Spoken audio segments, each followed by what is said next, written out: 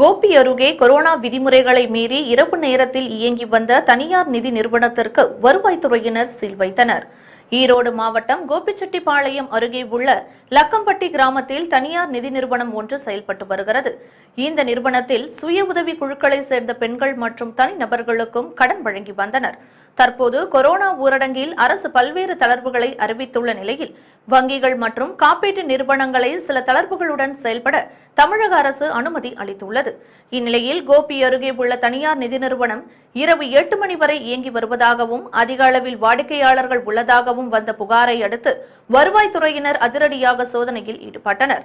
இந்த சோதனையின் போது நிறுவனத்தில் கடன் பெறுவதற்காக இரவு நேரத்திலும் வெளி மாவட்டங்களைச் சேர்ந்த முப்பதுக்கும் மேற்பட்டோர் சமூக இடைவெளியின்றி காத்திருந்ததை கண்ட அதிகாரிகள் அதிர்ச்சியடைந்தனர்.